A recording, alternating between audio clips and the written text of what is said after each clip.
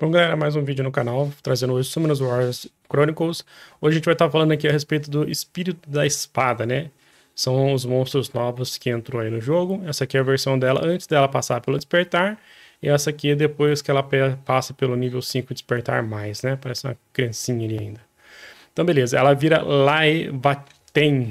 É a primeira vez que eu tô vendo, tá? Ela é um monstro natural 5 estrelas tipo cavaleiro. Estranho. Ela parece ser mais ofensiva mas tudo bem. Ela vai ganhar aqui no seu primeiro livro de efeito HP e precisão, no segundo HP e resistência, no terceiro defesa e resistência. Então vamos dar uma olhada nas habilidades dela aqui, informações de habilidade. Primeiro ataque básico, 165% de ataque como dano, padrão. Um direto na passiva que fica mais fácil para entender. Lá em Ventina, a espada de chama. Provavelmente deve ser chamas. Se você possui energia de fogo quando um membro do time é atacado com uma habilidade do inimigo, recupera o HP do membro do time alvo e o seu HP consumido. É a energia do fogo. A quantidade de recuperação é proporcional ao HP máximo dela. Aí não dá a entender se é dela, no caso dela, né? É da Lavetina, Laventem, ou se é do alvo, no caso, né? Mas acho que deve ser dela mesmo. Quando o membro do time é atingido com uma habilidade, quando estiver com energia do fogo, recupera 6.1 do HP, do HP máximo ao HP máximo. Quando o membro do time é atingido por uma habilidade, quando estiver com energia do fogo, redução de energia de fogo 1. Então você vai se você conforme você vai ter energia, o cara toma um, um atingido por uma habilidade, ela recupera uma parte da vida. 6.1%. Primeira habilidade, que é a lâmina do fogo infernal, provavelmente, vai até o nível 7. É, custa 4 de mana ou 24 segundos de tempo de espera. Remove um efeito benéfico dos inimigos dentro da área 4 vezes, caramba. Uma determinada chance, é, com uma determinada chance, né?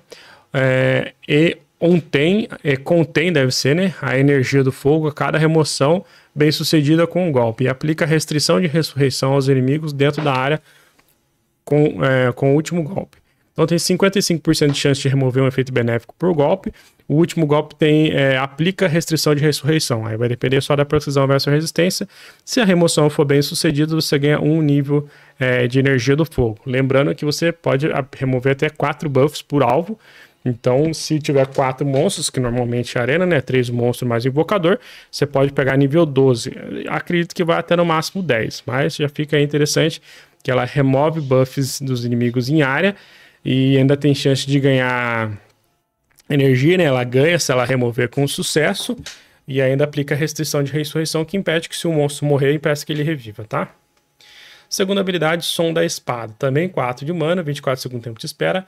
Recupera o HP dos aliados dentro da área e aplica aumento de defesa e aplica provocação, provoke e cegueira ao inimigo próximo com uma determinada chance. A quantidade de recuperação é proporcional ao HP máximo dela. Então, quanto mais vida ela tiver, mais ela recupera dos outros. Vai recuperar 32.2 HP máximo, aumenta a defesa nível 1, 90% de chance de provocar e 90% de aplicar cegueira em área. Só tem que verificar a área, né? É interessante vista que na primeira ela clinça, limpa todo mundo e depois ela vem com provoke. Habilidade interessante. É, é, as duas habilidades não tá falando de dano. Então eu ia até cogitar uma desper, mas pelo que eu tô vendo não dá dano a habilidade. É tipo um, só um efeito. Diferente. A Ultimate, que é basicamente a segunda melhorada, aumenta a recuperação. Aí aplica Death Break nível 3 e provoca com cegueira com 20 segundos, mas aqui já não tem chance, né? 100%.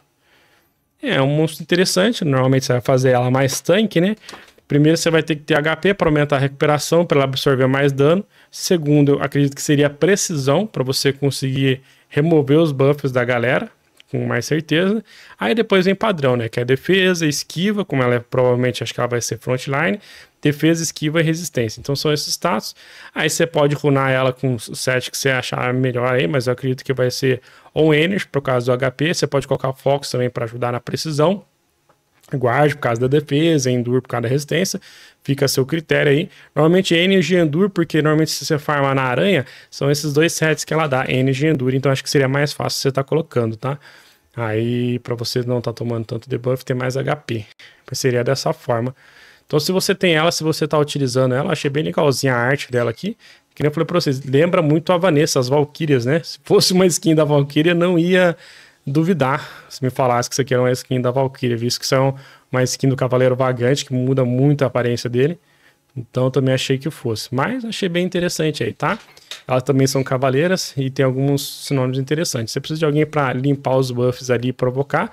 Ela é uma opção aí para vocês para estar tá usando no seu time, tá?